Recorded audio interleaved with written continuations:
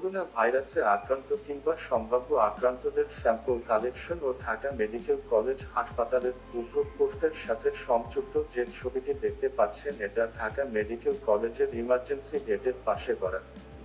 করোনার টেস্ট করতে আসা রোগীদের জন্য নির্ধারিত অবজারভেশন রুম, ছবির মতো এভাবেই দুই বেডে আটজন সহ দু ফ্লোরে কিংবা চেয়ারের পাশাপাশি বসে থাকে এই রুমে, যেখানে তিন ফিট দূরত্ব তো দূরে থাক, এক ফিট থাকে কিনা সন্দেহ।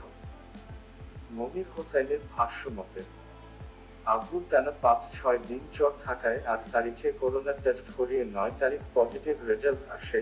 এরপর দশ তারিখ সকালে তাকে কুয়েত মৈত্রী হাসপাতালের আইসোলেশনে পাঠিয়ে দিয়ে আমরা বাকি তিনজন ঢাকা মেডিকেলে টেস্ট করাতে। চাই কিন্তু সেদিন তারা নেয়নি। বলল, পরের দিন সকালে আসেন। তাই গতকাল দশটা, বিশটা আমরা করোনার টেস্ট করাতে আসা রোগীদের নির্ধারিত রুমে প্রবেশ করি। আমাদের কাছ থেকে, আমাদের ফর্ম আর টিকিট নিয়ে যায় তারা আমাদের। বলা হচ্ছে, স্যাম্পল কালেকশনের জন্য একটু পর তারা আসবে। এভাবে ধীরে ধীরে রোগী এনে রুমে ঢুকাতে থাকে তারা এক এক করে উনিশ জন করোনা সাসপেক্টেড রোগী একটা রুমে রেখে যায়। আমাদের তিনজনের মতো কয়েকজনেরই কোন লক্ষণ ছিল না করোনার। কিন্তু সেখানে অনেকেরই করোনার স্পষ্ট লক্ষণ ছিল। একজন নারী সারাক্ষণ শ্বাসকষ্টে হাঁপাচ্ছিল আর ছটফট করছিল। উনার পাশেই শোয়া ছিল সাত বছরের এক বাচ্চা। ঠিক তিনটার দিকে তিন জনের একটা টিম এসে ছয়, সাত জনের স্যাম্পল নিয়ে যায়, যেখানে কোন সিরিয়াল মেনটেন করা হয়। এমন অনেকে ছিল যারা আজকেই টিকিট কেটেছে। আমাদের মতো যারা দুই দিন ধরে ঘুরছে, তাদের কোন নাম নেই, তাদের কাছে তিনটা পঁচিশ আর তারা চলে যায়। আর বলে যায় দশ থেকে পনেরো মিনিটের মাঝে আবার আসবে। কিন্তু সেই দশ পনেরো মিনিট যেন আর শেষ হয় না দশ পনেরো মিনিট বলতে বলতে ছয়টা বেজে যায়। এদিকে আমরা সবাই না খাওয়া, দুপুরে ভাত দিয়েছিল কিন্তু সেগুলো মুখে দেওয়ার মতো না। সবচেয়ে বড় প্রবলেম ছিল আমাদের তারা রুম থেকে বের হতে দিচ্ছিল না। যার কারণে না পাচ্ছিলাম কোন খাবার কিনে আনতে। আম্মু বয়স্ক ছোট ভাই ও আম্মু দুজনই ফুটবল হয়ে পড়ে সে অবস্থায় এরপর সাতটার দিকে তিন জনের আরেকটা গ্রুপ আসে স্যাম্পল কালেক্ট করতে। তারা এসে তিন চার জনেরটা নেয়ার পর। বলে, আমাদের নাম তাদের কাছে নেই। আমাদের কাগজ নাকি হারিয়ে গেছে। বলল, নতুন করে কাগজ করে আনতে। তাই দৌড়ে গিয়ে আবার ফর্ম ফিল করে আনার পর তারা নয় ঘণ্টা বসিয়ে রাখার পর স্যাম্পল কালেক্ট করে যে কয়েকটা বিষয়।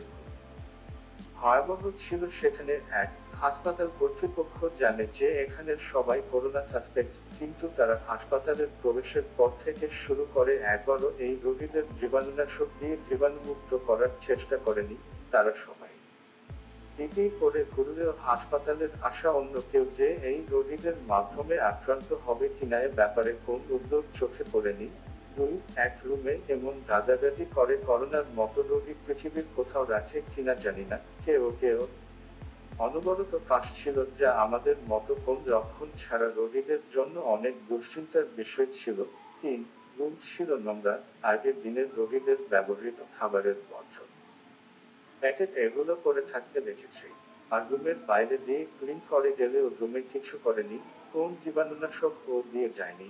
চার, যখন স্যাম্পল নেওয়া হচ্ছিল তখন কে ওকে ও বমি করে দিচ্ছিল, কিন্তু সেগুলো পরিষ্কার করা হচ্ছিল না। এছাড়াও রুমে অনেক গরম ছিল। কোন জানালা খোলার উপায় ছিল না। সব মিলিয়ে কেউ করোনা আক্রান্ত না থাকলেও সেখানে থাকলে আক্রান্ত হয়ে যাওয়ার অনেক বেশি সম্ভাবনা আছে, আশা করি হাসপাতাল কর্তৃপক্ষ এ বিষয়ে। সুনজর দিবে, জানি না গতকাল রুম থেকে কতজন আক্রান্ত হয়ে বাসায় ফিরে গেছে। এই অব্যবস্থাপনা নিয়ে গতরাতে এক বড় ফেসবুক গ্রুপে লিখি, কিন্তু সেটা অ্যাডমিন ডিলিট করে দিয়েছে। তাই নিজের টাইমলাইনে দিয়ে দিলাম সবাই। বাসায় থাকুন।